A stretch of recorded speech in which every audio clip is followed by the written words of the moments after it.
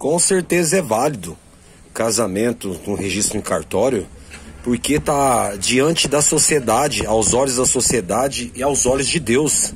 É válido com certeza. Mas podemos lembrar que pode ter a questão da sexual, é, a questão de os dois estarem fazendo sexo normal. Mas vale lembrar que a benção apostólica é maravilhosa, é muito bom dar a benção apostólica porque está declarando que o casal quer Deus no meio da, da, da convivência, a benção apostólica. É muito bom isso, porque eu vou dar um exemplo de duas cordas. Qual que rebenta mais fácil? As duas cordas ou três cordas? É óbvio que as duas cordas vai se arrebentar mais fácil. Agora, três cordas, que a terceira corda é Deus no meio, é mais um reforço para o casamento, para ambos terem sabedoria dos dois lados. Mesma coisa, aliança.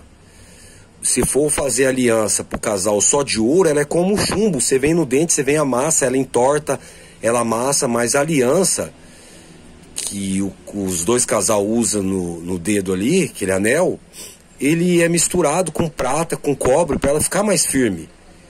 E a prata é a mulher, o cobre é o homem.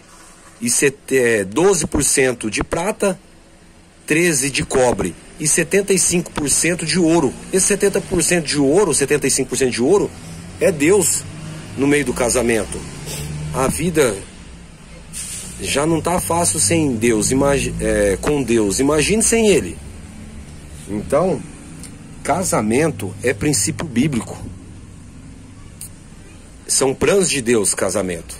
Porque Deus via que lá na frente ia ter várias doenças, ia ter imoralidade sexual, ia, ia ter briga por causa de adultério, morte. Então, casamento é projeto e plano de Deus. Então, fique em paz. Casou no cartório, pode ficar tranquilo sobre a sexualidade, a, é, os dois estarem fazendo amor, né?